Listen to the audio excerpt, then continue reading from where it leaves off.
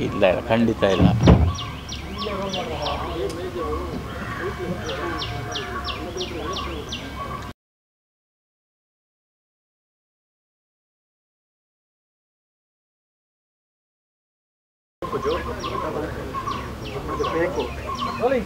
ಹೇಳಿ. ಒಂದಿಷ್ಟು ಗ್ಯಾಪ್ ತಗೊಂಡಿದ್ರಿ ಅದಾದ ನಂತರ ಸಿನಿಮಾದಲ್ಲಿ ಆ್ಯಕ್ಟ್ ಮಾಡ್ತೀನಿ ಅಂತ ಹೇಳಿದ್ರು ಅಂತಿಮ ಸತ್ಯದಲ್ಲಿ ನಿಮ್ಮ ಪಾತ್ರ ಹೇಗಿದೆ?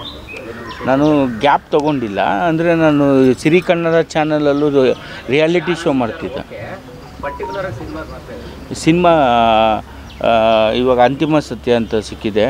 ಆ್ಯಂಡ್ ಇದರಲ್ಲಿ ಒಳ್ಳೆ ಪಾತ್ರ ನಾನು ಕೊಟ್ಟಿದ್ದಾರೆ ಡೈರೆಕ್ಟ್ರು ಆ್ಯಂಡ್ ಫೋರ್ ಡೇಸ್ ನಂದು ಬರುತ್ತೆ ಗೆಸ್ಟ್ ರೋಲು ಆ್ಯಂಡ್ ಕತೆ ಚೆನ್ನಾಗಿದೆ. ಆ್ಯಂಡ್ ನಾನು ಮಾಡ್ತಾಯಿದ್ದೀನಿ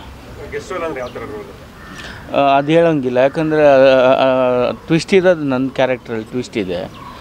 ಏನೋ ಒಂದು ವಿಶೇಷ ಇದೆ. ಆ್ಯಂಡ್ ಅದಕ್ಕೋಸ್ಕರ ಒಪ್ಕೊಂಡೆ. ಪ್ಲಸ್ ಅವರು ನನಗೆ ಅಷ್ಟೇ ಪ್ರೀತಿ ಕೊಟ್ಟರು. ಡೈರೆಕ್ಟ್ರು ಶಿವ ಪ್ರೊಡ್ಯೂಸರ್ ದೇವರಾಜು, ನರೇಶ್ ಅವರು, ಇವರೆಲ್ಲ ಅಷ್ಟು ಪ್ರೀತಿ ಕೊಟ್ಟರು. ಆ್ಯಂಡ್ ನಾನು ಇದ್ರಲ್ಲಿ ಮಾಡ್ತಾಯಿದ್ದೀನಿ ನನ್ನ ಪೋಷನ್ ಮಾರ್ಚಲ್ಲಿ ಬರುತ್ತೆ.